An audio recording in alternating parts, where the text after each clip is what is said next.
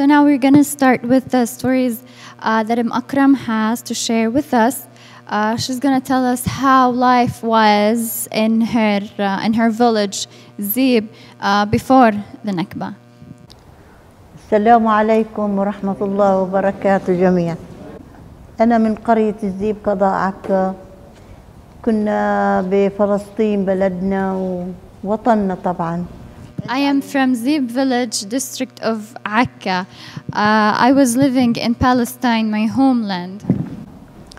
كنا ببلدنا كتير مبسوطين وعايشين حياة كتير حلوة بأملاكنا وأرزاقنا وبين أهالينا طبعا هاي كمان لها تأثير كبير آه، عز لإلنا كان We were living there happily and safely in our lands and our properties, uh, and most important, between our uh, among our families.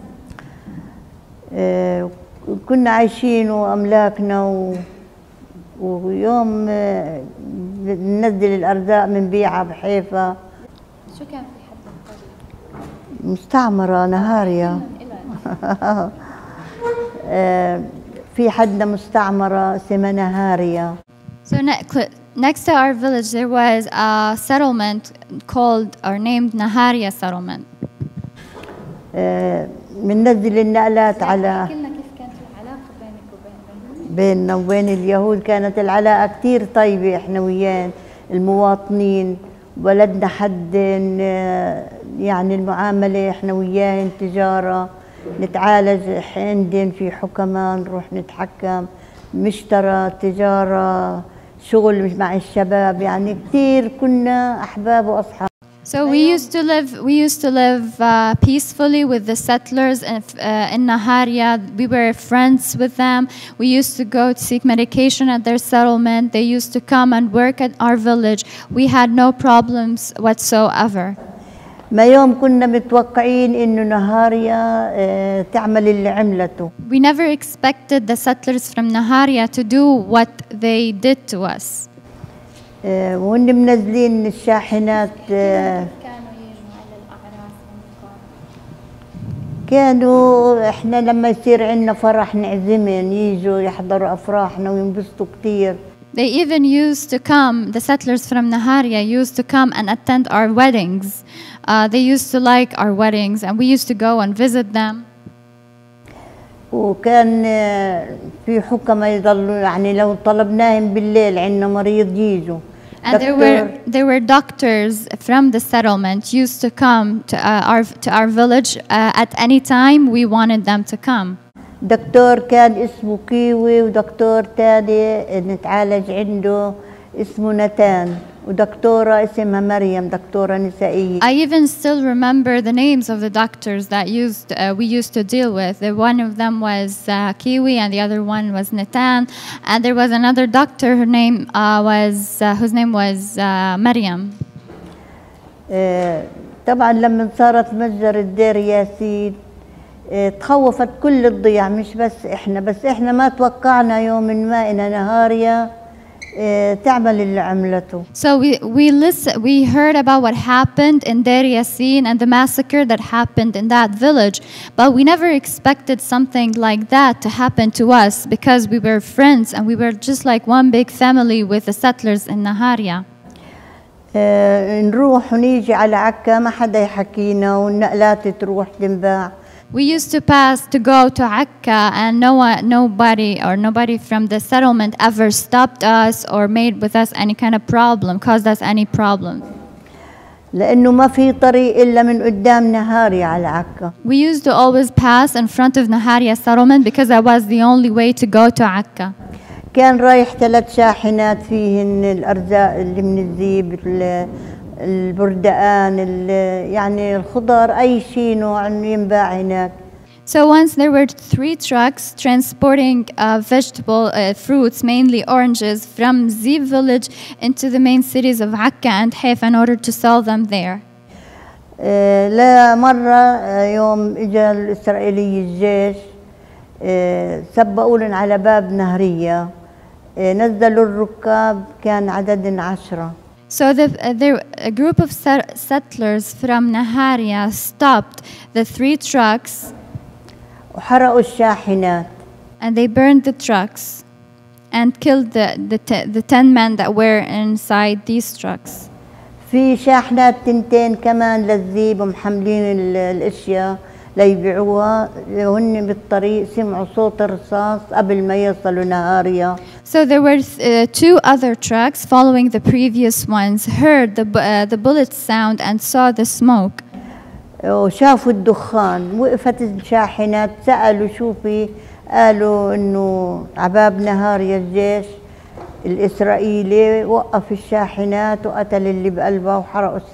So they found out what happened in, uh, for the uh, three trucks uh, in front of Naharia entrance or in front uh, of Naharia settlement.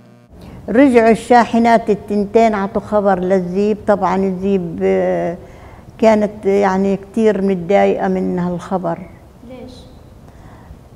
ليش من القتل اللي تضايقوا لأن نهاريا ما يوم كنا متوقعين إنها تعمل هيك So the two trucks returned back to Zeeb village and told the families what about what happened to the trucks. So everybody got real, uh, really upset because they never expected something like that to ha- to uh, to happen, and they never expected something like that from the settlers in Naharia. طبعا البلد عاشت برعب وخافت إنه يوم ما يعملوا فينا مجزرة أو شيء لأنه بلشوا بالقتل. So they were, everybody was just terrified and was afraid that a massacre would happen in our village. آه، بعد فترة شي أسبوع أو عشرة أيام إجوا على واحد معمر قريب كتير لنهاريا. إحنا بلدنا عمرت بمنطقة قريبة على نهاريا بنقول له الرمل. So after a week or so, uh, the settlers from Naharia attacked a house that was from uh, a house from our village, or uh, and that that was close to Naharia. كان الوقت بالليل وأول واحد إجوا عليه قتلوه عنده غنم وسيرة غنم وعنده راعي وعايش يعني هناك بالليل إجوا كسروا الباب وفاتوا قتلوا الرجال والراعي اللي عنده So they attacked that house. Inside the house, there was a, a, a man and his wife and a shepherd who used to work for the family. They attacked that house, uh, killed the shepherd and the, and the man using axes. آه، مين شاف الشوف مرت الرجال كانت حامل إلى خمس أشهر آه، تخبت بالدخون من خوفه ما يقتلوه So the wife saw what happened to her husband and to the shepherd, and she was pregnant. Uh, so she went and ha- she had no place uh, uh, to hide but the chimney. So she hid inside uh, there. بقيت متخبي لأن ما عادت سمعت صوت لأن بالأول كانوا يقولوا إنه آه، وين مدام هلا كان هون وين مدام تسمعهن وهي متخبية ضلت متخبية لأنه ما عادش سمعت لا دعسة ولا صوت She, she stayed hiding inside the chimney until she, she stopped uh, hearing any noise, voices, and they, she knew that they left. ساعتها المرة طلعت وفاتت بين البساتين وظلت وصلت بلد اسمها الكابري قريب علينا And when they left, she managed to run away through the woods into uh, another village, which is- which is uh, another vil- village close to us, which is Kabri village. آه، كل ليلة يجوا على بلد نفس الطريقة اللي اجوا عليها عزيب صارت هي تهرب مع البلد اللي هي فيها من بلد لبلد توصلت لبنان The settlers started to move from one village into another, and that woman started to uh, run away with the villagers from each place she used to go to until she finally reached Lebanon. آه، وهن ضلوا مستمرين بقتل الناس يدقوا يكسروا الباب ويفوتوا يقتلوا حست الجيرة والعالم اللي ببيوتهم برية البلد القديمة آه، صاروا إشي يهرب واللي يلحقوا اليهود بعده مشارب انقتل The settlers started to move from one house into another in our village, uh, killing the people. And so everybody knew what was happening and started to run into the center of the village. طبعا يهربوا لبيوتهم على طرف مش بالبلد القديمة يهربوا على البلد القديمة صاروا ينادوا إنه لازم العالم تهرب لأنه ما في مقاومة تقاوم اليهود So there was no, the people were too weak to, uh, to resist the, or to protect their village, so they had no choice but to run away. آه، اله- أكتر العالم طلعت بالبحر احنا بلدنا لأنه آه، فيها البحر لففها لف هيك عليها Most of the people ran away uh, through the sea using their fishing boats because our village was located on the seashore. وأكثر الشباب كانوا صيادة سمك فلوكة كتير صاروا اللي يهرب يروح على البحر يحطوه بالفلوكة ويوصلوه على الحدود اللبنانية ويرجع يجيبوا بعد And most of the men inside our village were fishing uh, fishers, so or fishermen. So they used their uh, fishing boats to put people there and transport them into Lebanon. في ناس هربت بالبر طبعا بالسيارات اشي مشي راح وصل حدود لبنان Some people walked to reach the Lebanese borders. Others used their cars. آه، طبعا من الحدود آه، يروحوا بالسيارات على صور And from uh, when they, after reaching the borders, they went into uh, Sur, into Tyre. So Emakram uh, told us how was life in uh, in the village and how was it like to uh, to live in Palestine before the Nakba and before and uh, before uh, the Nakba and before the people were exiled from Palestine. But now we have to know what is actually a Nakba. First of all, you have to know that the word Nakba means uh, is the word catastrophe in Arabic. So why the Palestinians call this a Nakba, or what happened to them during that year, during 1948, to call, call it a Nakba? We have to like go back in time a little bit uh, to uh, the 1900s. The 1900s uh, witnessed the uh, establishment of or the rise of what we now know as the Zionist movement. The Zionists, I'm going to just talk about this briefly, but and in ve- very simplified way, the Zionists uh, decided or uh, they wanted to. Um, they wanted to uh, uh, help the Jews who were in Europe under persecution to find a solution for, the, for these Jews. So they decided to establish a state, a Jewish state for them, uh, in order to let them run away or leave uh, Europe. So they decided that the best place to establish this state is Palestine. And uh, the, the Jewish immigration movement started back at that time into Palestine. And this explains why we had Jewish settlements in Palestine before the year 1948. So they started, the Jews started to go to Palestine. The Palestinians were okay with that. They, they felt, because, you know, the Palestinians were welcoming for the Jews because they knew that they were under persecution in Europe. They were, went uh, through many hardships in Europe, and they were okay with that. Uh, and you know, in Palestine, people did not differentiate between any religion. Christians, Muslims, Jews, we're all living together, loving each other. They had no problem with that. And the biggest proof for that is what Imakram was telling us uh, in her story. So, how did they actually do it? Okay, the, the Jews managed to go to Palestine, to immigrate, to settle in Palestine. But how did they establish the state of Israel? I'm going to start with this quote. It says, Arabs throughout country, induced to believe wild tales of Irgun butchery, were seized with limitless panic and started to flee for their lives. This mass flight soon developed into a maddened, uncontrollable stampede. The political and economic significance of this development can hardly be overestimated. This is uh, this quote is from the book of Menachem Begin. Menachem Begin is known to be the sixth prime minister of Israeli state. And he's also known to be the head of Irgun gang. Irgun gang was one of various gangs that had, uh, that its main objective was to kill Palestinians, to massacre Palestinians in order to force them to leave Palestine. And here he was discussing the importance of Deir Yassin massacre because what they did in Deir Yassin was a village located next to Al-Quds, Jerusalem. So they wanted to, they wanted, uh, the Zionists wanted to expand their occupation of that city, of Jerusalem. So they wanted to get rid of as much villages there as much as possible. So they entered uh, and they mainly used Zionist gangs in order to uh, do that.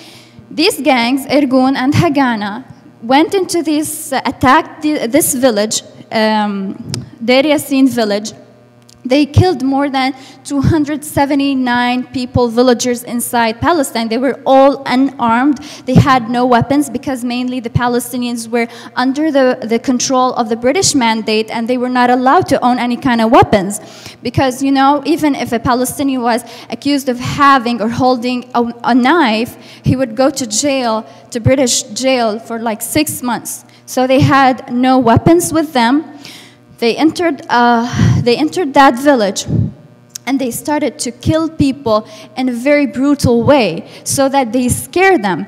And they allowed only a couple of people to leave this village so that these people go from village into another and tell the people the palestinians and what, what is happening and that like that they spread the fear in the hearts of of people or, or Palestinians. And that's how they used fear factor in order to force Palestinians to leave Palestine. So I'm going to move to another uh, uh, quote. This quote is from Dr. Alfred Engel. He used to work for the Red Shield of David, which is a medical organization, Jewish medical organization. He said, We got into the village easily. There were only dissidents of Irgun and Haganah members there, and they were putting bodies on trucks. In the houses, there were dead in all about a hundred men, women, and children.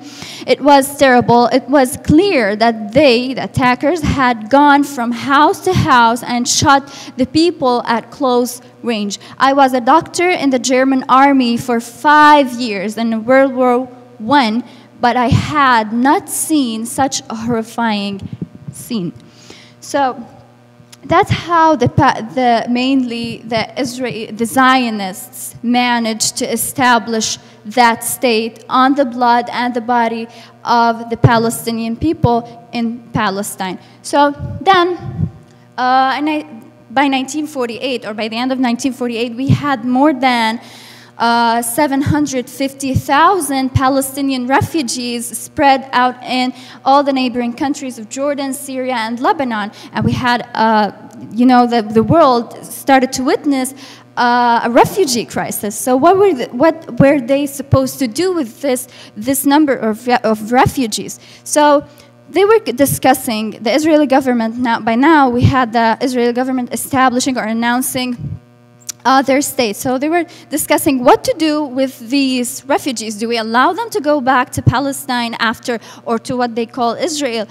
after the, the war finishes, and they decided not to let them go back because if they allow the Palestinians to go back to Palestine, they will, they will no longer have a Jewish majority, which means, you know, how, how were they supposed to uh, establish a Jewish state with no Jewish majority, with Palestinian majority? So it's not going to happen. It's like Israel is committing suicide.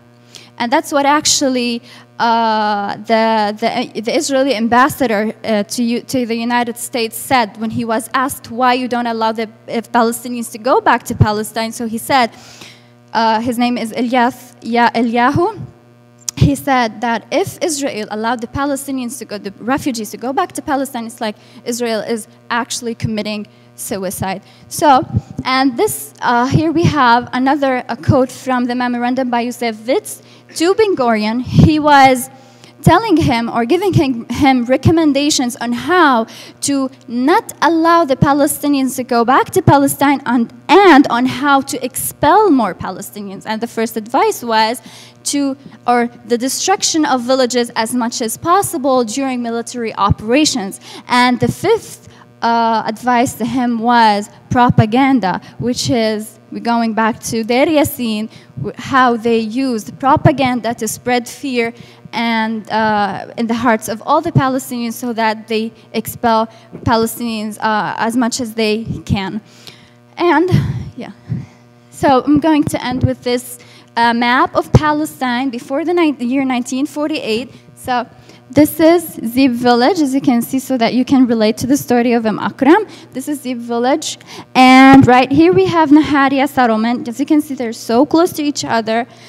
Uh, and this is the Mediterranean, Mediterranean Sea, and this, uh, which is the sea that the, Pal- the Palestinians use to go into Palestine. This is the Leban- uh, into Lebanon, excuse me, and this is the Lebanese border too. And now we can go back to um, Akram's story. She's gonna tell us how is it like to live inside a tent uh, after the Nakba. آه، لما وصلنا صور أول مدينة بلبنان قريبة علينا صور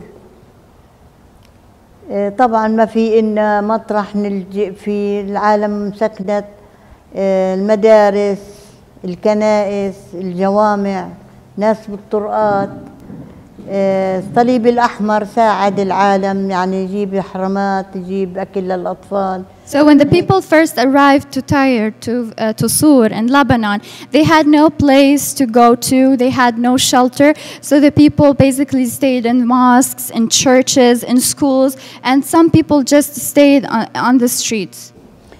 آه، كثرت كتير المهجرين بالسور يعني كل الضيع اللي قريبة على لبنان اجت تهجرت بلبنان So the number of refugees started to increase by day, and all the, the villages that were close to us, to Zib village, started to come into Lebanon. آه، قد ما صار في مهجرين كتير عملوا لنا مخيم عين الحلوة بصيدا So because the numbers started to increase, they established for us uh, Ain al-Hilwi refugee camp in another city, which is Saidan. آه، كاين الأرض مزروعة قمح وتراب وحالة يعني كتير آه، مش مريحة أبداً So uh, the, the, the land that they established or set up the tents for us on was previously planted with wheat and it was still mud. So they just put the tents over that land. آه، قد ما في مهجرين آه، صاروا يحطوا كل عيلتين بخيمة And because the number of the refugees was so big, as I said, every two families had to share one tent.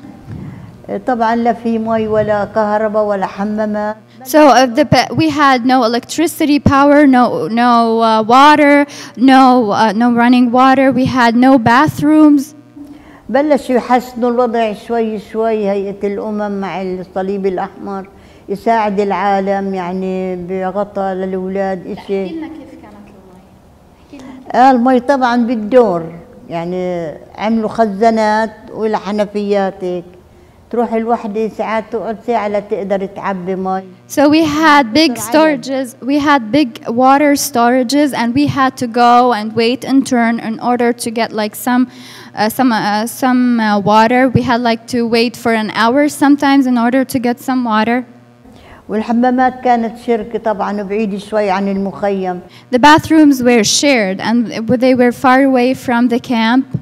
صعبة بالليل خاصة اللي عنده أولاد يعني صعبة كانت كتير It was so hard for us to go, like to wait in turn for to use a bathroom, and it was especially hard at night because uh, if you have if you had kids back then to go and get them into the bathroom at night. آه، بلشت العالم يعني الشباب يشتغلوا بالبساتين يشت...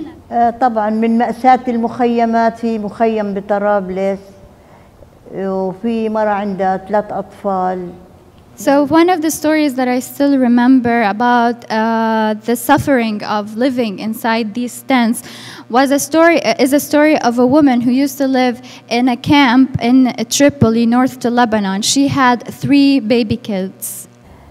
آه، راحت تعبي مي طبعا ما هو بالدور بتتأخر شوي عالت الأكل على البابور الكاز وتأخرت لإجت So she was she she was cooking. She put her uh, the food on uh, the burner inside the tent and went to get some water.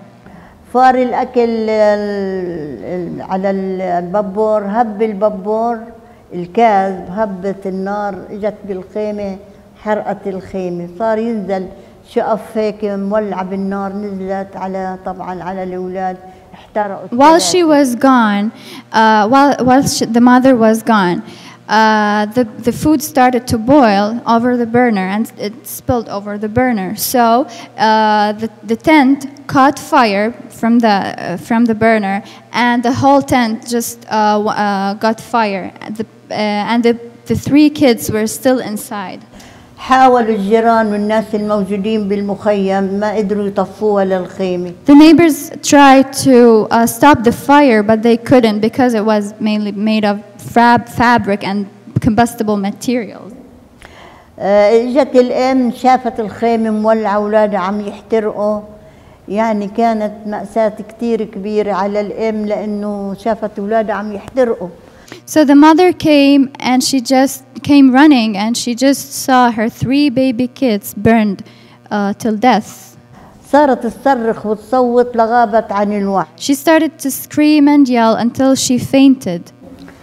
آه، بعد ضلت على هالحالة كل ما تتخيل إنه أولادها عم يحترقوا تصير تصرخ وتبكي وتغيب عن الوعي And she stayed, uh, she s- had the same condition. Every time she remembered how she saw her three babies burned, uh, she would start screaming and yelling until she faints. الجيرة ومعارفهن قالوا له لجوزها لازم تقيمة من هون بتغير منظر ال- المكان اللي انتو فيه طرابلس وديها على أي مطرح غيره بركي بتنسى So the neighbors suggested to her husband that maybe they would change the place of their living so that she forgets on- or stop remembering. إلها إخوة عندنا بعين الحلوة She had uh, brothers in Ain al-Hilwa refugee camp. راحوا جابوها وعملوا لها حد خيمة وقعدوها حد They went and got their sister and made up for uh, made for her a small tent next to theirs so that she can live there.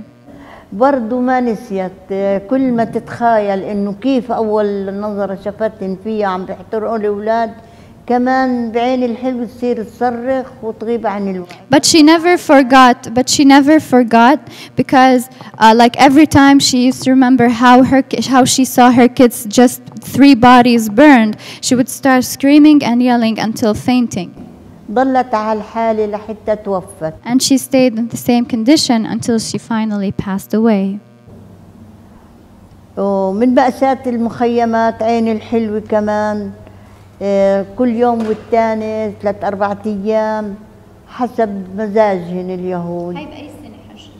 آه، يعني غراتها هم يعني مش تقيل كتير آه، على زعمهن إن إنه يضربوا محلات للفدائية بين البساتين على طرف المخيم هيك شيء So during 1972, the Israeli aircrafts used to uh, bomb and shell some sites in inside the camps, and they used to claim that these sites were for the Palestinian fighters. لمرة عملوا غارة كانت قوية كتير يعني أكترها بقلب المخيم الضرب وأطراف المخيم آه، طيران يغير يقصف يروح يكون التاني صار جاي يعني العالم ما ارتاحت من القصف But once there was, uh, they started uh, attacking or uh, bombing and shelling the camp very uh, strongly, uh, and it was like in a continuous manner. They they just t- continued on uh, ba- bombing and uh, throwing rocks. آه، هاي الغارة كانت كتير قوية وقتلت ناس كتير وهدمت البيوت لأن البيوت طبعا مش قوية خيام واللي بده يوسع حاله شوي كان عامل بيت من تنك وإشي هذا كله آه، العالم صفت بلا بيوت And during that day, many people were killed, and uh, there were many uh, that caused uh, big damage for the camp because you know the houses were not strong. There were still many camps and uh, many metallic houses. آه، العالم وين بدها تروح؟ صاروا ينادوا بمكبرات الصوت إنه العالم يعني تروح تتخبى بالجامع. So the لأن الجامع بطون السقف والحيطان. People had no place to hide but the mosque of the camp because it was the only place made up of cement in the camp. إحنا من جملة اللي طلعوا كانت أمي وأبوي كبار بالسن وإحنا هربنا على الجامع. ما طلعنا على الشارع كان منظر كتير رهيب لأنه قتلى وجرحى وناس تسعف So we wanted to run away. Me, my mother, and my father, my whole family wanted to go and hide inside the camp. And the moment when we, uh, when we went out uh, uh, to to the to outside, like left uh, the place we were living, we saw the most horrifying scene ever. Just people all around running, screaming and yelling, women and kids laying down on the streets, killed or injured. شفنا على الطريق ما طلعنا على الشارع العام اللي بتمشي فيه السيارات. آه، وإذ مرة ميتة نايمة بالطريق. إجا ليقيمها الإسعاف مسكها هيك من إيدها ليشيلها. إلا الإيد طلعت عنده كله لقينا الشظية جايتها على كتفها من هون قصصته. So one of the scenes that I cannot forget was of a woman laying down on the street, and came a man that wanted to help her. So he gra- uh, he grabbed her hand to try to like make her uh, stand. So he grabbed her hand, and the moment he grabbed her hand, her hand was ripped off in his hand, and it turned out that she was killed already.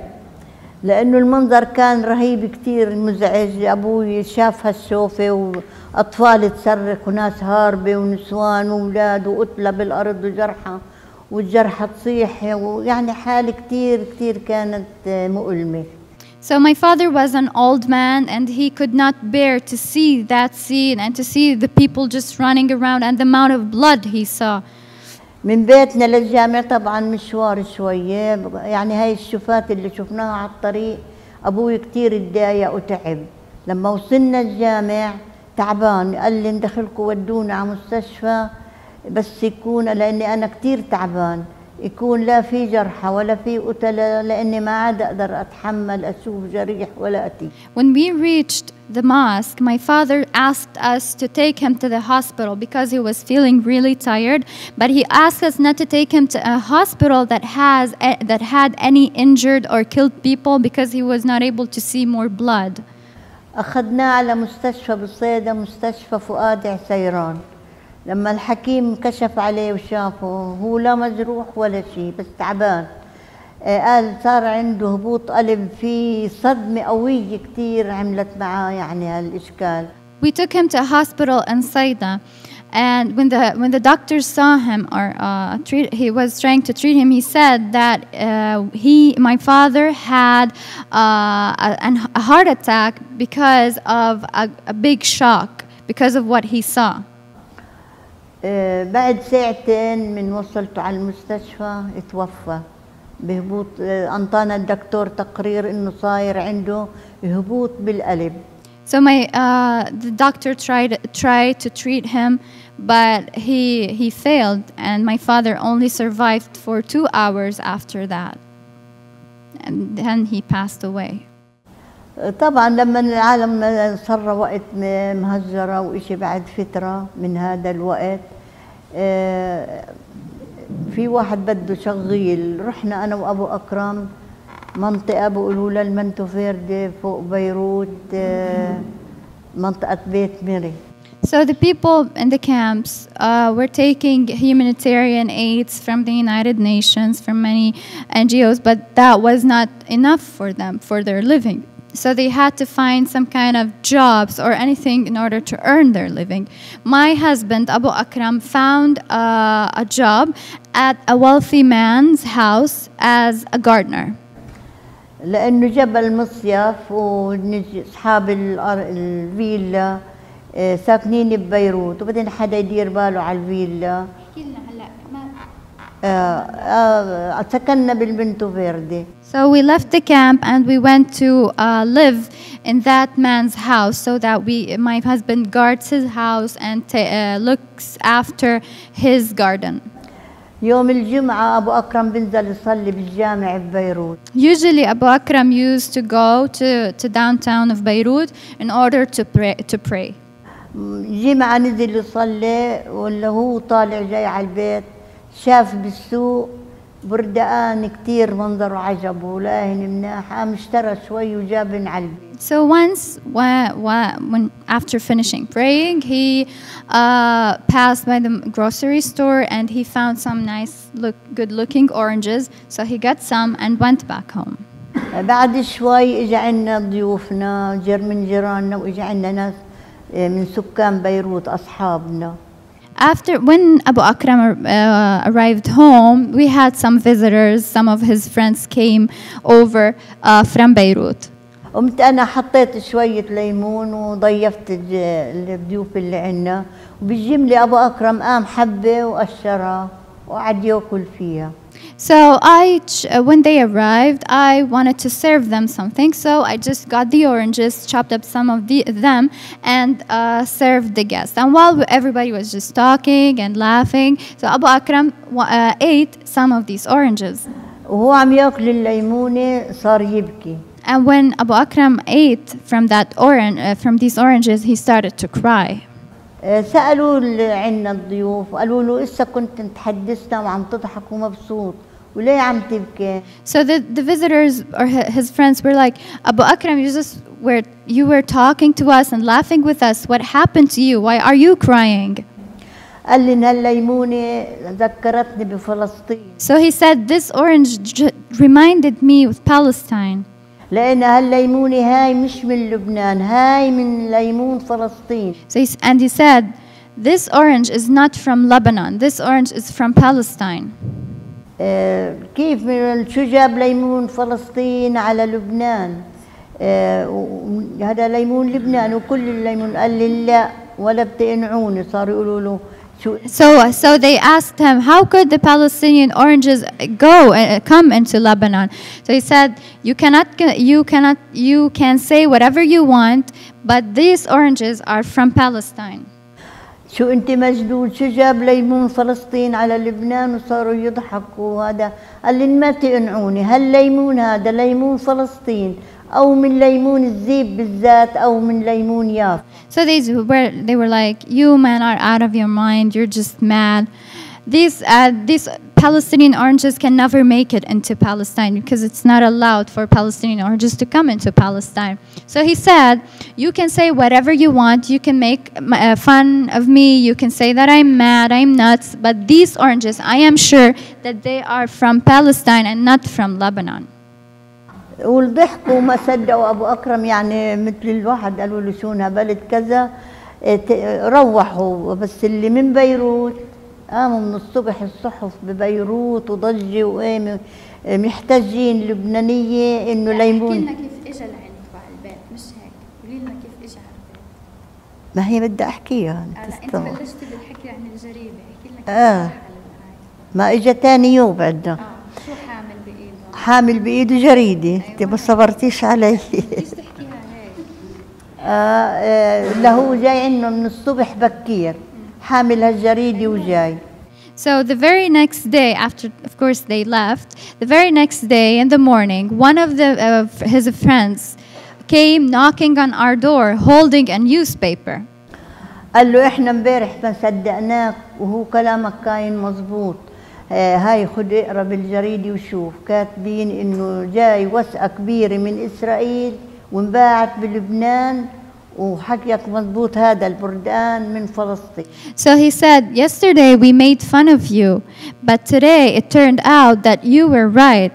And it was all over the newspapers uh, saying that a big amount of oranges came from the occupied territories f- uh, into, in, made up into, uh, made their way into Lebanon.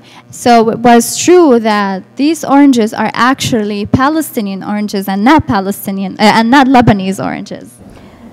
قال له بس بدي اعرف انه شو عرفك هذا البردان من فلسطين So he said, But I just want to know how were you able to recognize that these oranges are from Palestine and not Lebanese? آه، قال له من طعمتها ريحتها شكلها كله عرفتها من بردان فلسطين So he said, so Abu Akram said, I was able to know because of its taste, of its smell, of how it looks.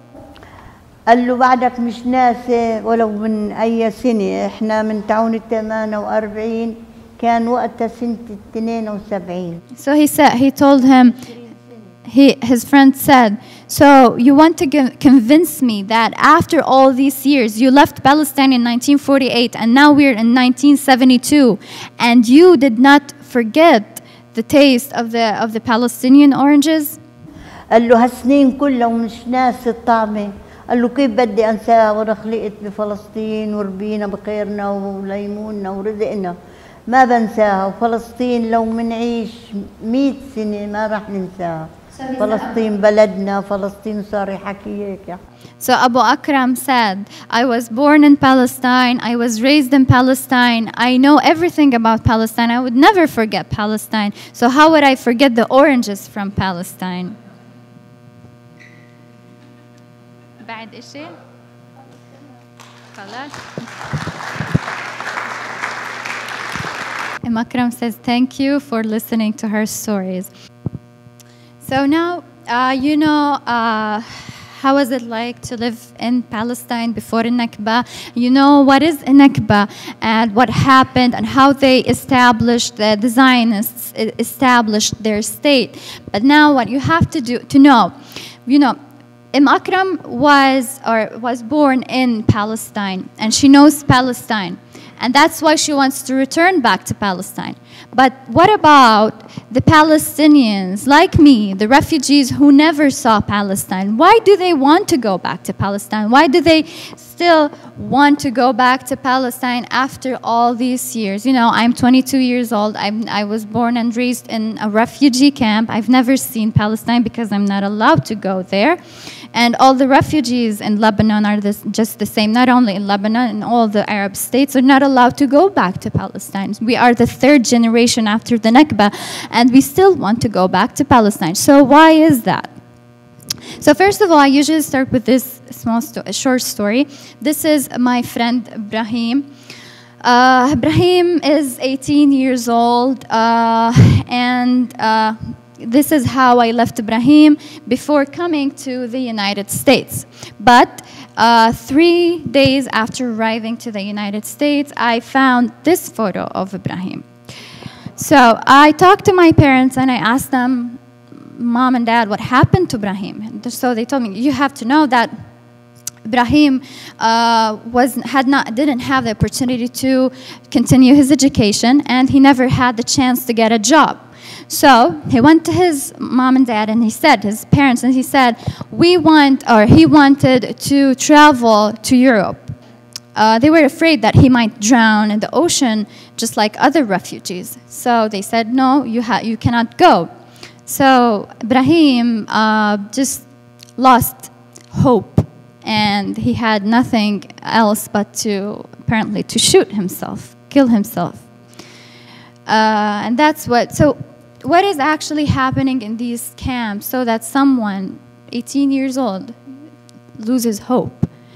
So, uh, can I'm gonna start with this uh, statistics about the Palestinian refugees. So we, you guys have to know we have Palestinian refugees uh, all around Jordan, Syria, Lebanon. We had Palestinian refugees in Iraq, and we also have Palestinian refugees in the West Bank and in Gaza Strip. But today I'm going to tell you about the conditions of the Palestinian refugees in Lebanon, mainly for two reasons. The first one is because the Palestinian refugees in Lebanon have the worst conditions among all other refugees in all the, uh, the Arab states, and they even have worse, uh, worse conditions than the Palestinian refugees in Gaza Strip. And because I live in Lebanon and I know more about uh, what is happening there. So, first thing, this is a photo for Burj al Barajneh refugee camp. This is where I live. Burj al Barajneh refugee camp was established in 1948. Was established in 1948 on an area of one third mile square. So it's 900 meters square. And uh, so it was, so it's basically two very small area. And it was established in 1948 to, uh, to contain around 10,000 Palestinian refugees. Now in 2016, we have 25,000 Palestinians living in Burj al Barajneh refugee camp. And after the Syrian crisis, we have to share this area with another 25,000 Syrian refugees, which makes it 50,000 refugees living in Burj al Barajneh refugee camp. We also have uh, another camps, and this camp is located in Beirut, in capital of Lebanon, and we also have three more camps in Beirut, Sabra and Shatila and Mar camps. Uh, then this is a photo for Al Hilwi refugee camp. Al Hilwi refugee camp is where Im Akram lives. It was, as you now know, uh, established in 1948. And as you can see, we have uh, Lebanese army checkpoints on the entrance of Ain al Hilwi refugee camp. We basically have, or we actually have, Lebanese army checkpoints on uh, all the entrances of all the camps all around Lebanon. I'm going to explain this during the, the presentation. And this is another photo for Ain al-Hilwi refugee camp. So Ain al-Hilwi refugee camp, the area of Ain al-Hilwi refugee camp is one mile square. And it has 80,000 Palestinian refugees. And after the Syrian crisis, we estimated the number of refugees inside the camp as 100,000 refugees living on this area. And because Ain al-Hilwi refugee camp is the largest camp and refugee camp in Lebanon, we tend to call it the, the capital of diaspora. Yeah, so, uh, so as you now know, the Palestinians, even after they were exiled, even after all the atrocities that happened to them during 1948, even after they were expelled or forced to leave Palestine, they were never safe from the Israelis.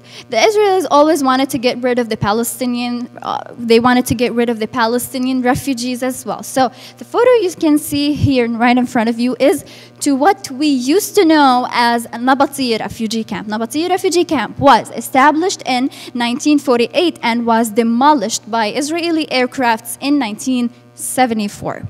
It was completely demolished, destroyed, and big number of refugees was killed during that time.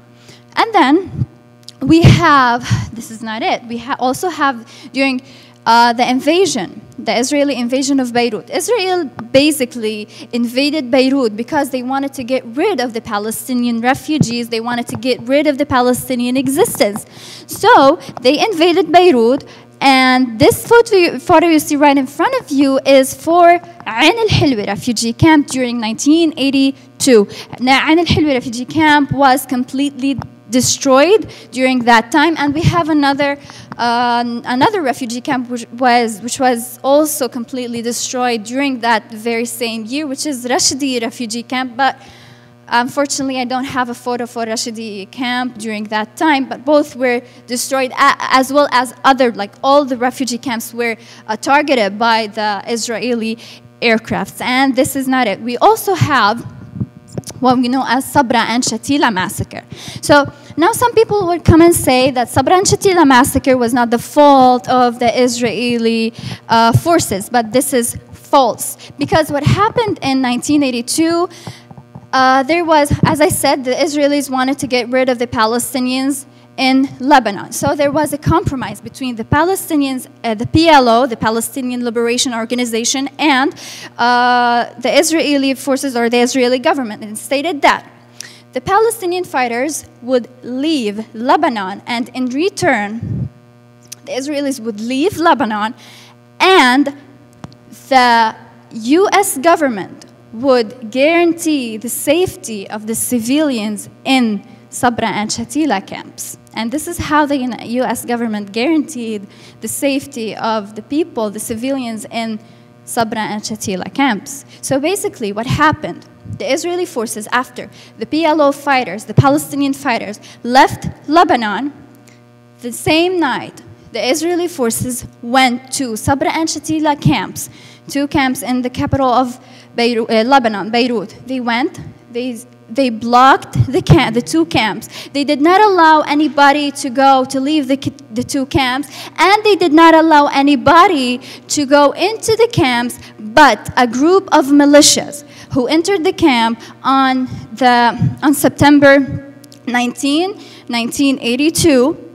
They entered the camp and they started to kill people inside the camps.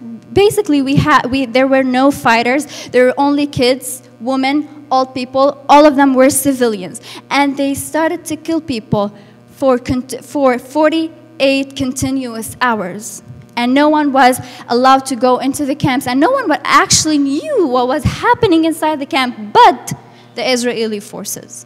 and the militias who were actually doing or uh, massacring people inside the camp. And by the end of the 48, uh, 48 hours, we had more than 1,500 Palestinians butchered in Sabra and Shatila camps.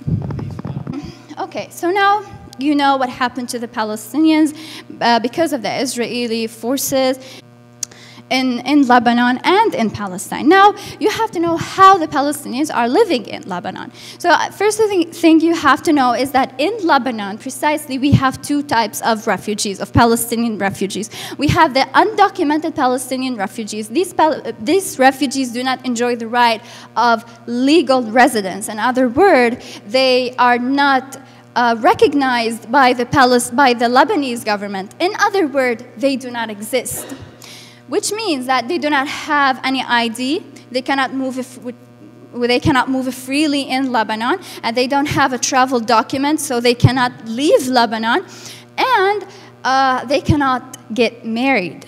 Because if they got married, they would inherit the same conditions and status to their children, and nobody wants that to his children, so they don't get married. And then we have the registered Palestinian refugees. I am a, pal registered Palestinian refugee. I have an ID that says I am a political Palestinian refugee in Lebanon. And I have a travel document. I don't, I don't have a passport. I have a travel document which does not quite allow me to travel. So it's like you know, when, when I want to, when I am filling any kind of application, I don't know who I am, you know? I can't tell because I am not Lebanese and I am not Palestinian to the, the standards, to the international standards, because I'm not living in Palestine. I don't hold a passport or a nationality that say I am from Palestine, so I'm simply stateless. I don't have any kind of status. So, so in Lebanon, you have to know that in the Lebanese government poses many institutional and legal barriers on the Palestinians in Lebanon. They treat them as, or they treat us as refugees. After 68 years, they still, the, the Lebanese government still uh, treat the Palestinians as refugees. And so treating them as refugees, what does it mean? It means that they're not allowed to work the Palestinians in Lebanon are not allowed to work. They're not allowed to work in 72 professions. They're not allowed to be engineers. They're not allowed to be doctors, pharmacists, nurses, uh, lawyers. They're not allowed even to be taxi drivers. The only thing that they're allowed to work in is or as gardeners or construction workers.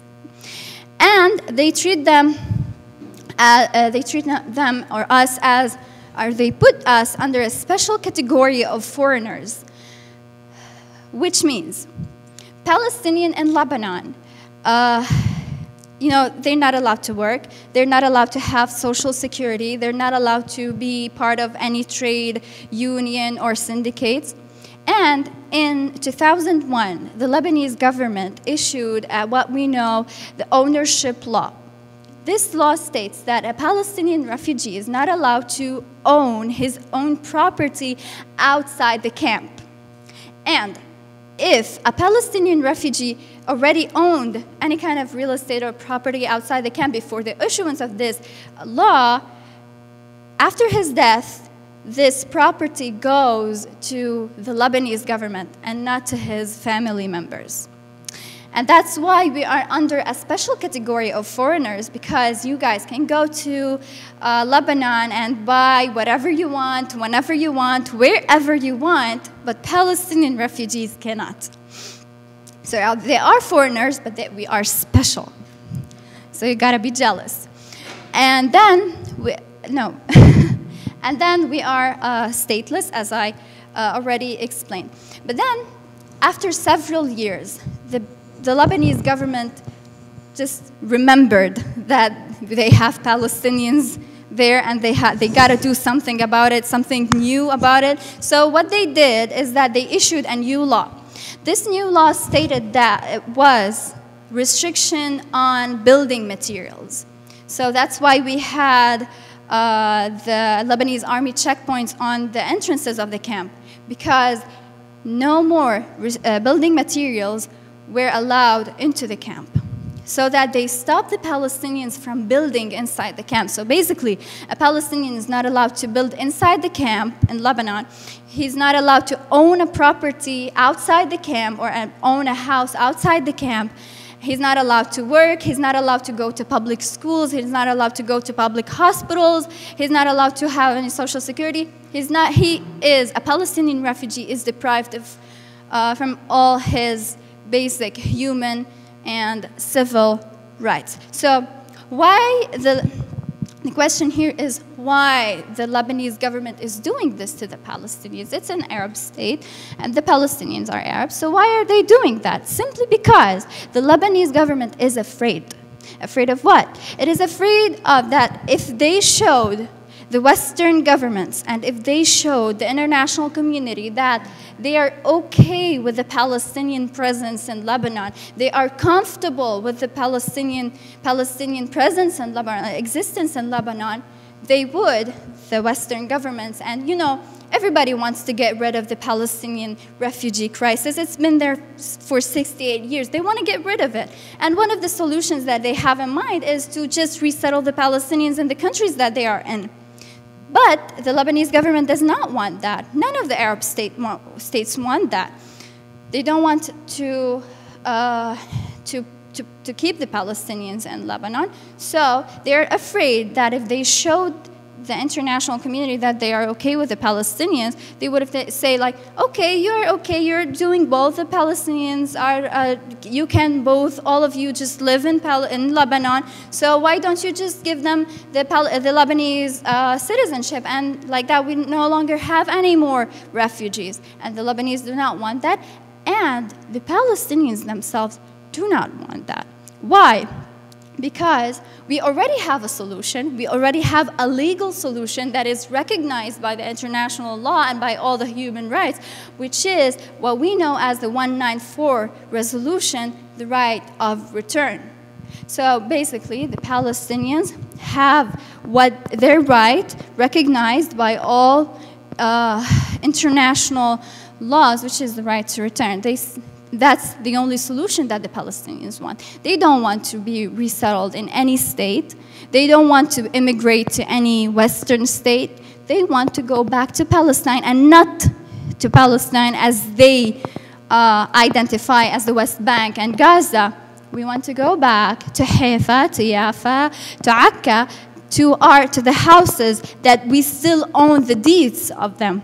We still have our deeds for these houses and we want to go back there. So legally, we can't, we can't go back because we still have our deeds with us, and we, we have the law with us. So, and it's our right. So that's the only thing that the Palestinians find as a solution for their crisis, and that's why the Palestinians still want to live inside these camps. And the last point that I'm going to end with is even if the Palestinians had better human conditions or humanitarian conditions in the camps, it does not mean that they don't want anymore to go back to Palestine. In other words, the Palestinians in Syria and in Jordan have much more uh, better conditions than us, but they still want to go back to Palestine. So having better, having their civil rights does not mean they do not want to go back to Palestine. So the only solution for the Palestinian refugee crisis, you know, now the this, we have many wars all around the world. We have now many refugees. We have Iraqi refugees, Syrian refugees, Yemeni refugees. And all these refugees, when they go to any country, to any other country, the government of that country, like the, the Syrians, when they go to Canada, they tell them that you can go back. You are now refugees in Canada, but you can go back. You have the right to return to Syria whenever you want. Any refugee have the right to return to his own country. So why the Palestinians are ex excluded from even this right? So the Palestinians only want to return back to Palestine. They only want their legal right of return. And thank you.